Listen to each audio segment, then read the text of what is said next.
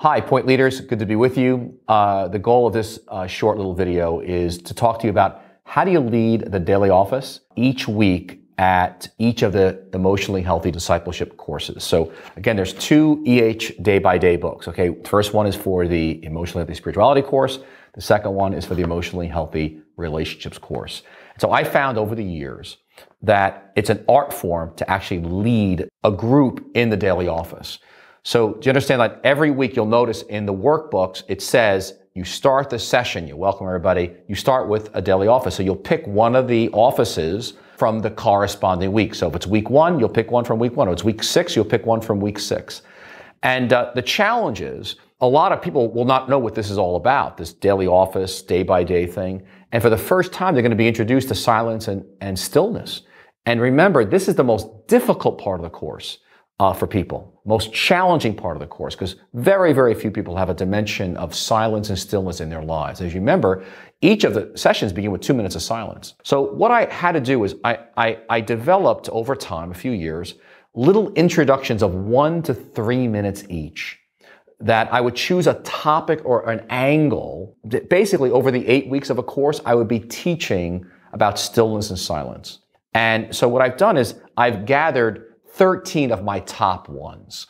And I put them in a document that you can download on the website. And it's called, you know, Lead the Daily Office for EH Discipleship Courses. So I want to encourage you to download that uh, and, look at it. So, uh, in fact, I'm going to just review it very briefly with you now, but you're going to need to have the document in your hand. So the key is every time your class gathers, you need to think about what am I going to say before we begin the office? Because it's really a key teaching moment.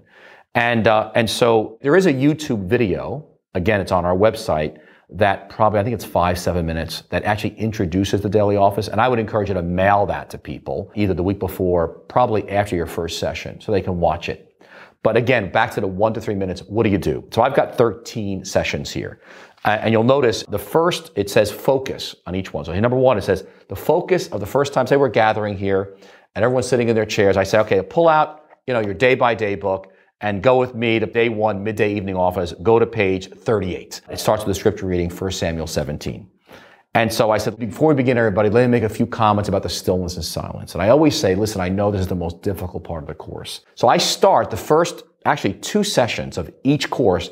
I use the silence and stillness card. And again, you can download this off our website. And I basically review the four guidelines for silence and stillness, and I read them through. And I basically, I, I make it normal for people. Say, listen, it's okay that your mind's going to wander. You're going to find yourself distracted. I do all the time. And so they've been talking about this issue of distractions for 2,000 years. And so here's some helpful guidelines, and I, and I read them through to people. You know, sit down and take a few deep breaths to settle yourself into silence. Choose a very simple prayer to express your openness and desire for God, like Abba or Father. The goal is I want to be with Jesus, right? And so my mind starts wandering into, I've got to, you know, drop this letter off at the post office. I got to write some emails. I've got to go shopping. And oh yeah, I go, oh Abba, oh Father. And I come back to remembering I'm in his presence. And then it says, close your eyes and offer this prayer to Jesus. And every time you find yourself distracted, come back and have a simple prayer like Abba back to Jesus. And the goal is not to be interceding at this time, but to be in a relationship, being with Jesus uh, every time I get distracted and being with God. So I, I would encourage you, you use this card the first two weeks to introduce people to them to basically 2,000 years of history where how they talk about our minds wandering and being with Jesus. So again, the focus is personal relationship with Jesus. And the core of the course is developing that. And then I would just go into it, you know, two minutes of silence. And I might start the first week with just one minute of silence and uh, then go to two minutes, maybe the second or third weeks. But again, you want to normalize the difficulty. Then the third week, for example, I give you 13 suggestions. You can pick and choose among them what you see fit. And you may want to interchange them as you see fit. You only have eight weeks for each course. So the third focus, I might say to people, listen, our goal is again before we start the office today, you know, we're in week number three or four, you know, go to this page. And now listen, everybody, how many of you feel guilty about your prayer life? And most of them will raise their hands because we, when have I prayed enough? And everyone feels like their Bible study and prayer life is never good enough. And I said, say, I have good news for you today. Listen, the fact that you show up, God is happy. The fact that you're here is wonderful. And the whole purpose of the gospel is grace, that Jesus loves you, He died for you. It's not based on your performance, it's based on His work on the cross and the fact that He loves you. So I said, today, I want to take you off of living in guilt and shame. And, you know, how does God feel about you that He's disappointed and frustrated and anger? No, God's delighted that you're here. His love for you is without any strings. And I just emphasized that one week. And uh, so I said, right, let's relax, okay? And that's my emphasis. Another week, uh, I will talk about perfectionism. That's actually in session four on your sheet. That the goal of the daily office or day by day is not to get through and read every office all five days, is 10 per week, you know, twice a day for five days. And I basically point out that God is not a perfectionist like we are. It's about, again, it's about grace. So I, I say, listen, if I have 10 minutes, uh, say in the afternoon, and here I am, it's, you know, it's time for the uh, midday evening office first I want to evaluate like where am I right now? What do I need? If I'm super distracted, I probably might need to just start reading the scripture, maybe the devotional, and then I might do silence at the end. Uh, but the goal is to connect with Jesus. The goal is not to get through the whole office. So you may just you may just get through a few lines, and God may touch you at a certain verse, and you've only got ten minutes. Well, stop right there. Remember, the goal is being with Jesus, not getting through it all. That, that's an, that'd be another week. And again, you'll, you'll see some other examples. I, I talk about the FAQs. Each of the offices have 10 frequently asked questions at the end.